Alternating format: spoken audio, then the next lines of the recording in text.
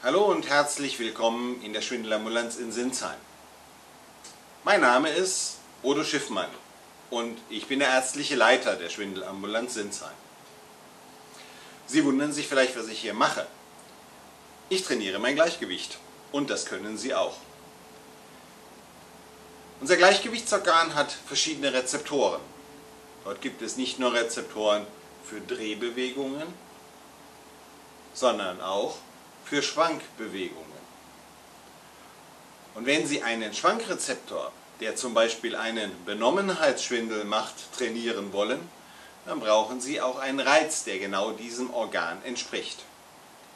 Und dazu brauchen Sie ein Hilfsmittel und das sehen Sie hier. Ich habe mir einen Gymnastikball besorgt und man setzt sich einfach gemütlich auf diesen Gymnastikball drauf und hüpft vor sich hin.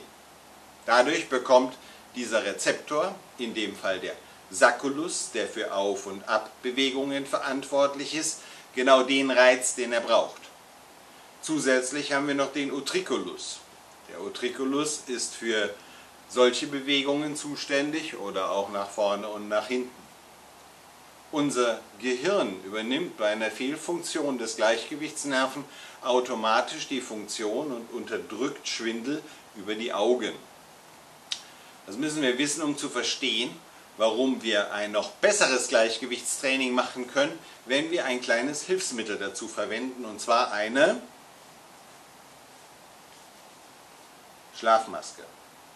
So eine Schlafmaske können Sie sich einfach im Internet bei den bekannten Versandhandeln bestellen. Bitte tragen Sie zum Training eine Schlafmaske, sodass Ihre Augen nicht sehen, was Sie gerade tun und hüpfen Sie gemütlich weiter. Gerne mit verschiedenen Geschwindigkeiten und verschiedenen Kopfhaltungen.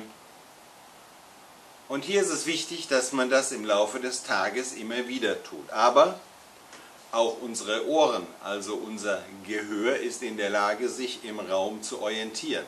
Wenn Sie das Training noch schwieriger machen wollen, dann hören Sie doch einfach ein Hörbuch oder Musik, die Ihnen gefällt und tragen Sie Ihre Maske und machen Sie diese Übung. Wenn Sie eine Störung der Schwerkraftorgane im Innenohr haben, dann werden Sie auf diese Weise Ihrem Gehirn die Möglichkeit geben, den Fehler zu erkennen und auch wieder zu beseitigen.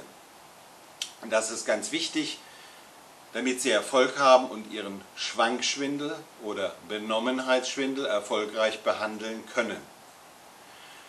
Sie sollten am besten zehnmal pro Tag, aber nicht länger als zwei bis drei Minuten üben und insbesondere am Anfang übertreiben Sie nicht.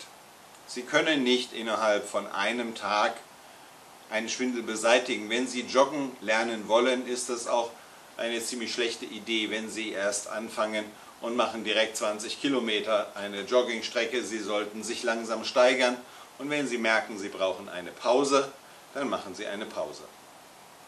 Ich hoffe, Sie haben gesehen, wie einfach das Ganze geht und das macht sogar Spaß. Besorgen Sie sich so einen Ball. Ich verspreche Ihnen, wenn Sie das intensiv machen, werden Sie Erfolg haben und vielleicht haben Sie Lust, sich bei uns noch ein bisschen umzuschauen. Wir haben auf YouTube noch mehr Videos zur Selbsthilfe, zum Beispiel auch ein hervorragendes Drehstuhltraining für unsere Schwerkraftorgane, die für Dreh- oder Fall- oder Kippbewegungen verantwortlich sind. Wir haben Übungen für Lagerungsschwindel und Sie finden unter anderem auch auf unserer Internetseite schwindelambulanz-sinsheim.de ganz viele Hinweise, wie Sie sich selbst helfen können. Wir erklären Ihnen dort Krankheitsbilder und wir bieten Ihnen auch zum kostenlosen Download ein Buch an.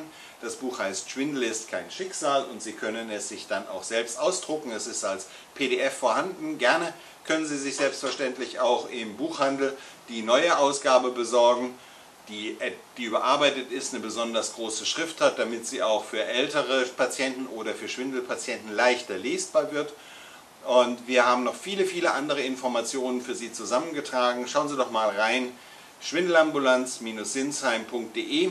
Ich übe jetzt noch ein bisschen weiter und Ihnen wünsche ich viel Erfolg bei Ihrem Schwindeltraining Auf Wiedersehen bis zum nächsten Video.